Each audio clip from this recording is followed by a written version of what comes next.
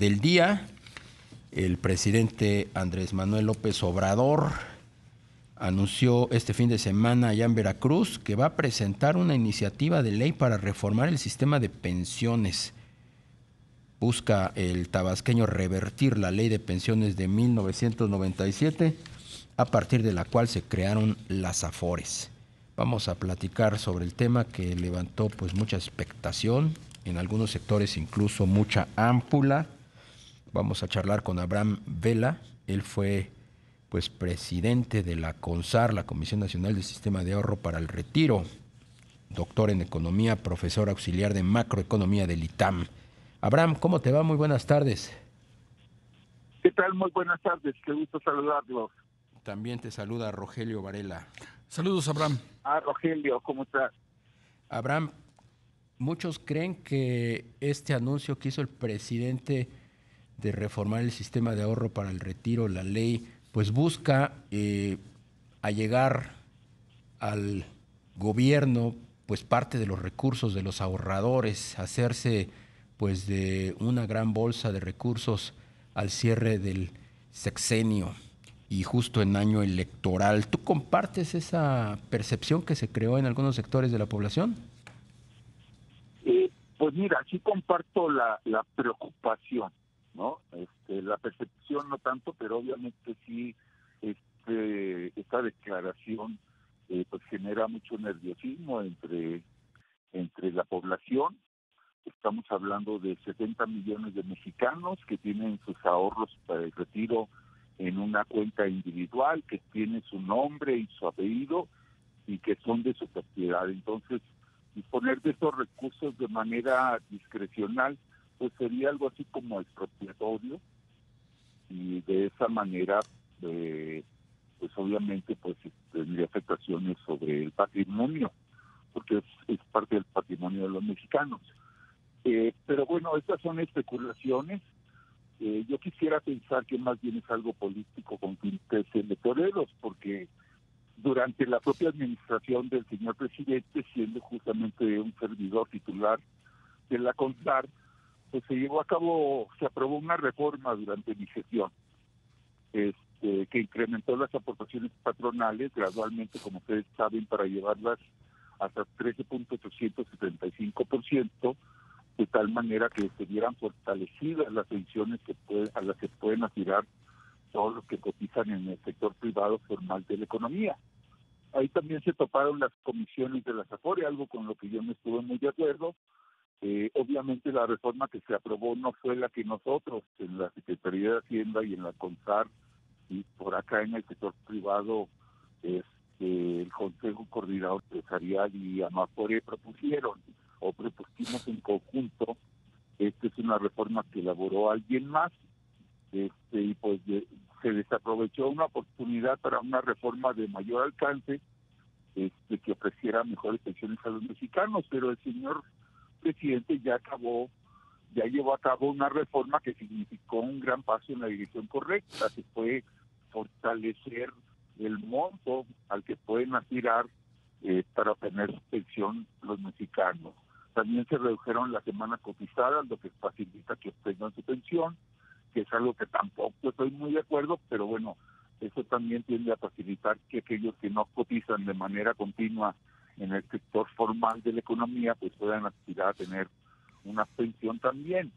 Este, también se fortaleció la pensión mínima garantizada eh, dependiendo de ciertas variables, de ciertos parámetros, como la antigüedad del trabajador, o sea, su tiempo cotizado semanas cotizadas, su edad y su ingreso, de tal manera que ahí también hubo otro factor que beneficiaba a los trabajadores. Eh, las declaraciones del presidente de, que las personas se deben eh, pensionar o jubilar con su último sueldo, pues es, es un sueño guajiro. No existe ningún país en el mundo, así lo demuestran las cifras de la Organización para la Cooperación Económica y el Desarrollo, en donde las personas se vayan con su último ingreso como pensión. En los niveles más elevados eh, de los países desarrollados este, de corte social demócrata en Europa, por ejemplo, Dinamarca, que está tan de moda mencionarlo, pues las pensiones son de aproximadamente el, el 80% del ingreso laboral promedio de toda la vida de un individuo. Entonces, este, realmente cuando se habla de hacer una reforma, pues sí, sí existen áreas de oportunidad en el sistema de ahorro para el retiro. Eh, hay que revisar la edad de retiro, aunque sea cada 10 años, conforme avanza la esperanza de vida de las personas, el proceso de envejecimiento de la población. También hay que ver pues que los trabajadores aporten un poquito más a sus fondos de pensiones y bueno, el gobierno en esta reforma dejó de aportar a las cuentas individuales de los trabajadores, este, cuando en realidad pues el gobierno lo ideal sería que fuera el único que aportara y que aportara mucho más eh, para si deseamos verdaderamente que los mexicanos puedan aspirar a mejores pensiones. Entonces sí, efectivamente estas declaraciones eh, me parecen fuera de lugar, fuera de contexto, que ocurre en un periodo electoral también en una situación en donde las finanzas públicas pues no son las mejores, ya todos sabemos que va a haber un déficit fiscal de 5.4% del PIB, con un endeudamiento de 1.9 billones de pesos, este, que va a ser muy difícil en 2025, gane quien gane, este, pues mantener unas finanzas públicas sanas y responsables.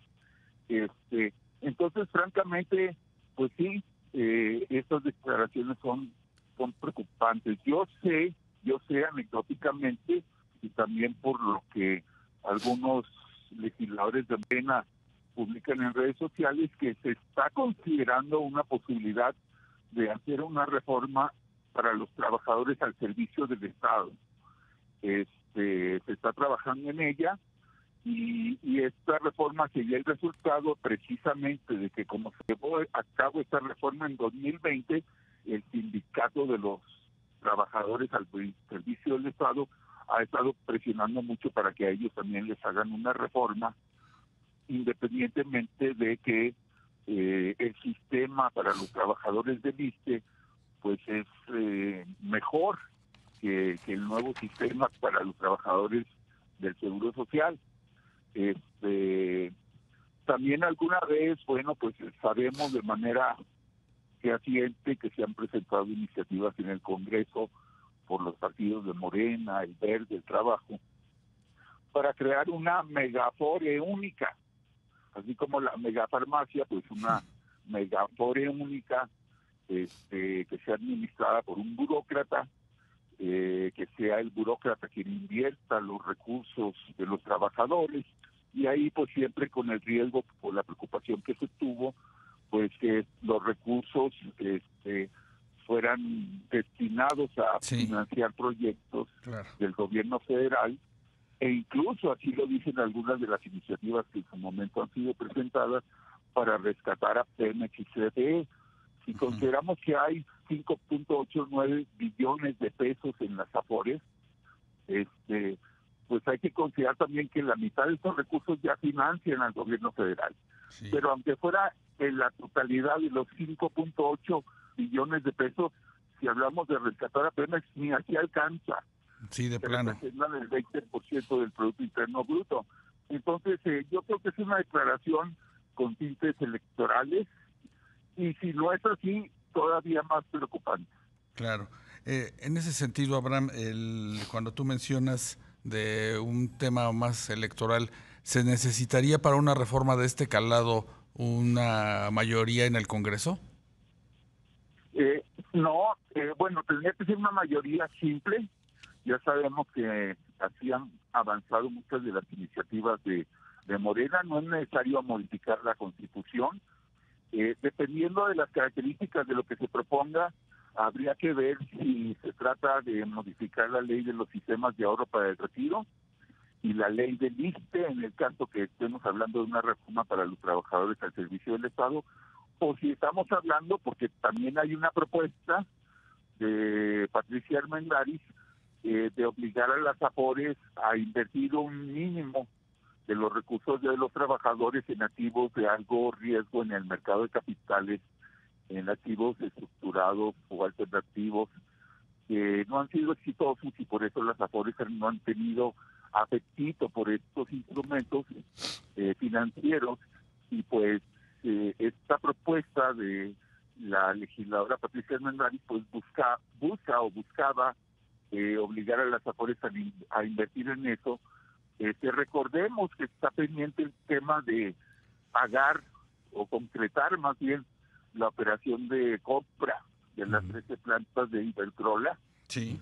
que era tomar estos recursos del FONADIN y que a través de un instrumento de estos estructurados, eh, tratar de recaudar de entre las AFORES los recursos para eh, poder comprar esas 13 plantas. Bien, pues Abraham, Abraham Vela, expresidente de CONSAR, te apreciamos mucho estos minutos. Desafortunadamente nos tenemos que ir a un corte. Muchísimas gracias por tu tiempo. Les mando a los dos un fuerte abrazo, un gusto saludarlos. Igualmente, buen año, por ciento. Nosotros hacemos una pequeña pausa y regresamos.